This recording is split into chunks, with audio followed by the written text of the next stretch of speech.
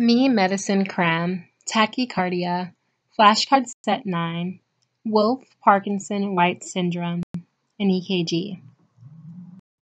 A patient with a diagnosis of Wolff Parkinson White Syndrome is undergoing a catheter ablation procedure.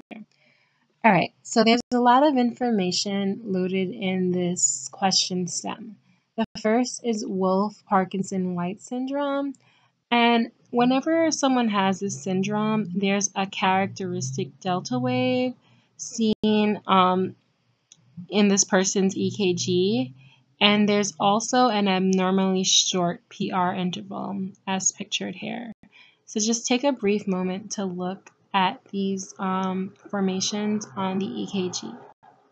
Again, um, a delta wave with an abnormally long QRS complex and an abnormally short PR interval. Okay? And also, if you're not sure what ablation means, ablation on its own means the surgical removal of body tissue, but together with catheter, it just means removal of the catheter tube. Okay?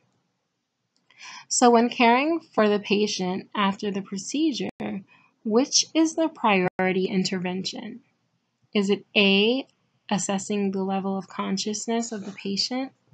B, monitoring insertion site and distal pulses.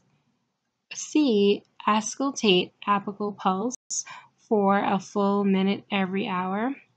In case you're wondering what auscultate means, it means um, listening to sounds from the heart, lungs, and other organs, typically with a stethoscope as part of some type of um, medical diagnosis.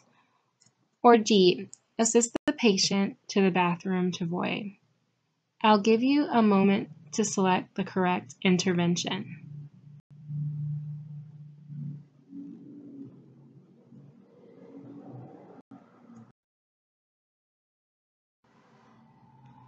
All right, so let's um, think through these answer choices.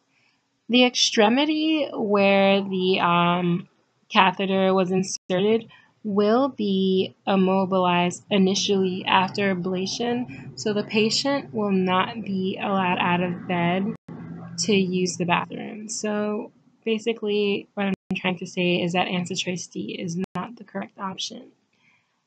Also, the um, patient will be on a cardiac monitor, so auscultation of the apical pulse for one minute is not a priority.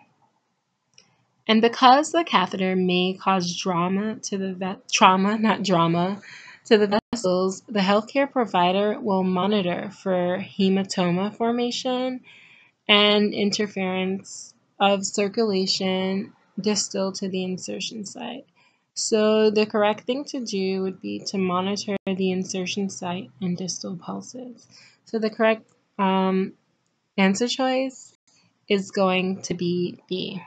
All right.